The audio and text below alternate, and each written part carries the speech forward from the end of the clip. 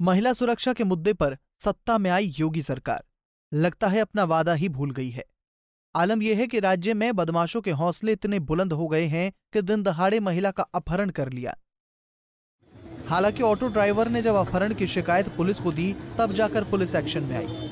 घटना की सूचना पर इलाका पुलिस समेत आला अधिकारी मौके पर पहुँच गए और ज़िले की सीमाओं पर चेकिंग अभियान शुरू कर दिया।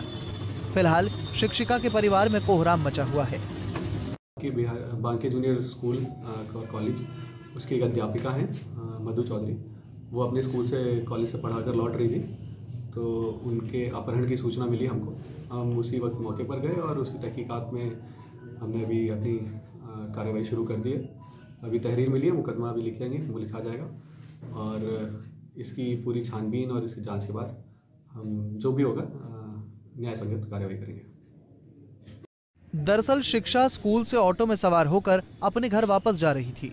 इसी दौरान नकाबपोश बदमाशों ने हथियारों के बल पर अपहरण कर लिया। वहीं ऑटो चालक की सूचना पर पुलिस के आला अधिकारी मौके पर पहुँचे। सीमा सील कर पुलिस कर रही है गाड़ियों की चेकिंग। सरेशाम हुई घटना के बाद पुलिस में मचा हड़कंप।